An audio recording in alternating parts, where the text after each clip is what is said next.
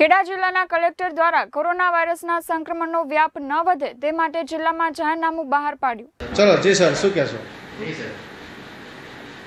તાજેતરમાં જે ગૃહ મંત્રાલયના જે જાહેરનામા બહાર પડેલા હતા એ જાહેરનામા અનુસાર કોઈ પણ જાહેર સ્થળોએ દરેક વ્યક્તિએ પોતે માસ્ક પહેરવું અથવા પોતાનો જે ચહેરો ઢાંક- ઢાંકવો કાપડથી ઢાંકે કે હાથ રૂમાલથી ઢાંકે એ ફરજિયાત કરેલું હતું.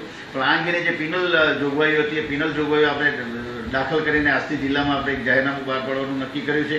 જેમાં જો કોઈ પણ વ્યક્તિ જાહેર જગ્યાએ એટલે પોતાના ઘરની બહાર નીકળે, ત્યારે જો માસ્ક પહેર્યા વગર જો કોઈ નીકળતું આપણને માલુમ પડશે, તો પ્રથમ વખત એને પાંચસો રૂપિયાનો દંડ કરવામાં આવશે અને બીજી વખત એને એક હજાર રૂપિયાની પેનલ્ટી કરવામાં આવશે અને સાથે સાથે એની જે એકસો અઠ્યાસીની જે કલમ છે, એકસો અઠ્યાસીની કલમ અનુસાર એની સામે કાયદેસરની કાર્યવાહી પણ હાથ ધરવામાં આવશે.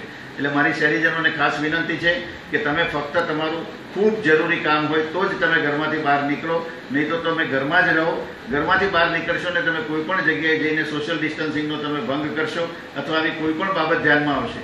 અને તમારી પોતાની હવે હવે કોરોનાથી બચવા માટે તમારી પાસે એકમાત્ર ઉપાય હોય તો તમે તમારા ઘરમાં રહો એ જ છે. એટલે દરેક વ્યક્તિને મારી ખાસ નમ્ર વિનંતી અને ચેતવણી બંને પણ છે કે જો કોઈ પણ વ્યક્તિ આવી રીતે ખોટા બાના હેઠળ અથવા પોતાને કોઈ બીજું કામ છે, એમ કરીને જો બહાર નીકળતા કોઈ માલુમ પડશે, તો એવા તત્વો સામે અમે કડકમાં કડક કાર્યવાહી કરવાના.